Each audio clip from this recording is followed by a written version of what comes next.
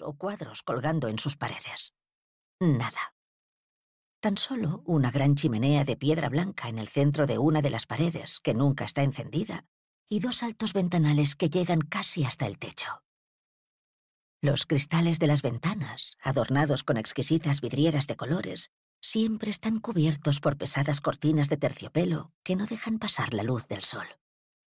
Los únicos muebles en la misteriosa habitación son una mesita, también redonda y con la superficie de espejo, y tres sillas de madera colocadas a su alrededor. Eso es todo.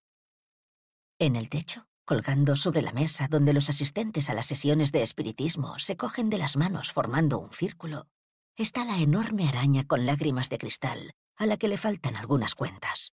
Según se rumorea en Barcelona, Mina Índigo había hecho traer esa lámpara desde una mansión de Nueva Orleans, después de que su anterior propietaria, la más poderosa reina bruja de la ciudad, falleciera en extrañas circunstancias. Era de sobra conocido que algunos participantes habían salido huyendo en mitad de una sesión al ver la gran araña de cristal balanceándose peligrosamente sobre sus cabezas. La habitación de los fantasmas. Así es como la gente de Barcelona llamaba a esa habitación, porque todo el mundo en la ciudad sabía que Guillermina Índigo hablaba con fantasmas. Hay alguien fuera, en la puerta, dice Mina. La ventana de la salita da al patio delantero del palacete.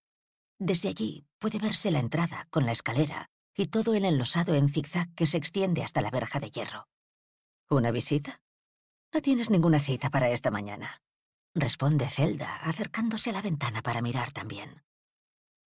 Hay una mujer al otro lado de la verja, mirando hacia la casa, casi como si esperara que alguien saliera a abrirla.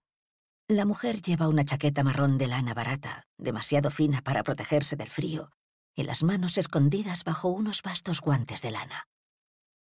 ¿La conoces? Pregunta Zelda sorprendida. Sí, es Abril Prieto, una de mis confidentes. Trabaja cuando puede como limpiadora en los almacenes El Siglo. No debería estar aquí. Sabe que no pueden relacionarla conmigo. Eso forma parte de nuestro acuerdo. Guillermina se levanta deprisa del sofá tapizado.